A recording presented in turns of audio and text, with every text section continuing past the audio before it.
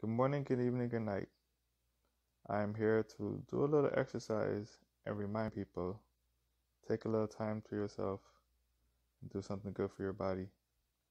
Now, me, I am attempting to do 50 sets of knee highs, both left and right equals one, and then 30 squats afterwards. That's just my number, but that's not the numbers that I want for myself as well. I want 100 knee highs and a hundred squats. But I am not at the place where I want to be either. So practice makes perfect. Repetition is best. So, like I said, take a little time for yourself. No matter the number, you have to start somewhere. Just take your time and try to have good form. And after that, do a little stretch. But you have to repeatedly throughout the day when you have free time do a little something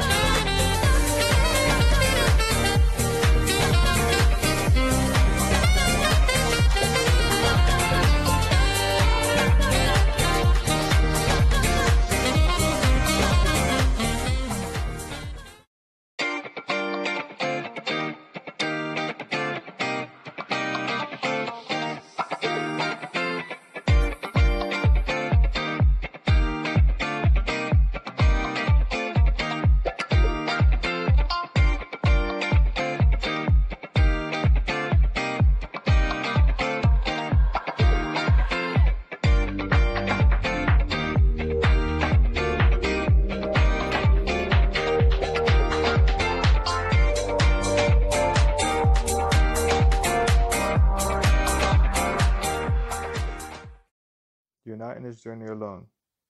Just play this video again and I'll do it with you anytime.